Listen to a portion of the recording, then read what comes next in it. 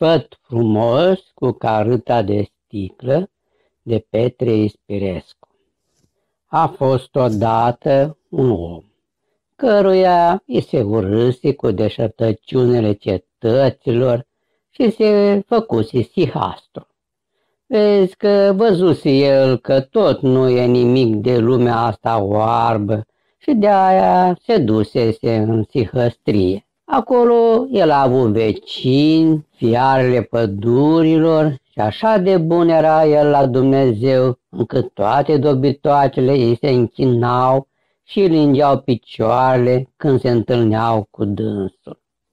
Într-una din zile, ducându-se el la marginea râului, ce curgea prin pădurea aceea ca să se spele, văzu un uh, sicrinel încheiat și smolit bine că vine pe apă și se oprise de marginea unde sta el.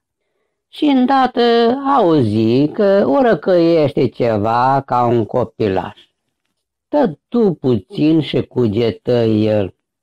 Ce să fie asta? Dar după ce surgă puțin ca să se depărteze de el ispita satane, dacă ispită ar fi, și după ce văzu că orăcăitul se întețește, e cum să piară dinaintea lui, prinse a scoate sicriașul la marne și deschizându-l, găsi întrunsul un copil mic ca de două săptămâni.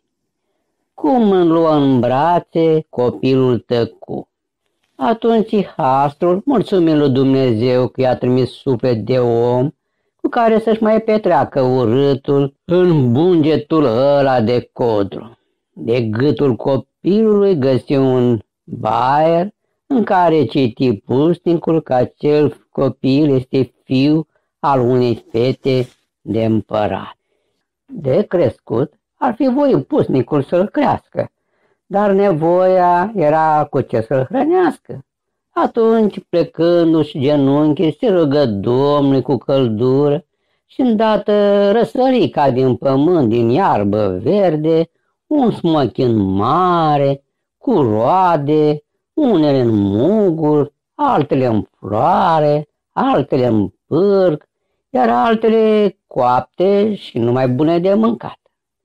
Tete copilului zeama stoarsă dintr-o smochină și mâncă copilașul, de se minună și sihastrul.